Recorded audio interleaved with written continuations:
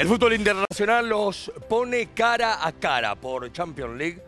Eh, van a estar frente a frente Dybala, eh, Gonzalo Higuaín, frente a Messi. Y esto tiene que ver con que hace horas nada más fueron compañeros en la selección argentina afrontando un compromiso que obviamente uno esperaba otro resultado. Pero se da por el comienzo de Champions que eh, justamente reeditando lo que fue la semifinal de la Champions pasada, con victoria de Juventus eliminando Barcelona. Posteriormente, Juventus eh, terminó perdiendo la final ante el Real Madrid.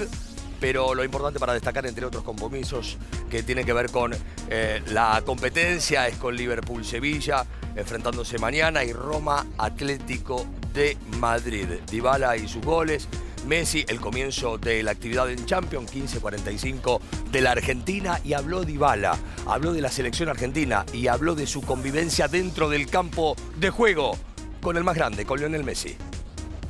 Va a parecer eh, raro lo que voy a decir, pero bueno, eh, es un poco difícil jugar con él personalmente porque jugamos en la misma posición y, bueno, eh, yo trato de respetar siempre su espacio dentro de la cancha y, y sentirme lo más cómodo posible, pero bueno, jugamos en la misma posición. Entonces, eh, seguramente soy yo el que tengo que adaptarme más a él.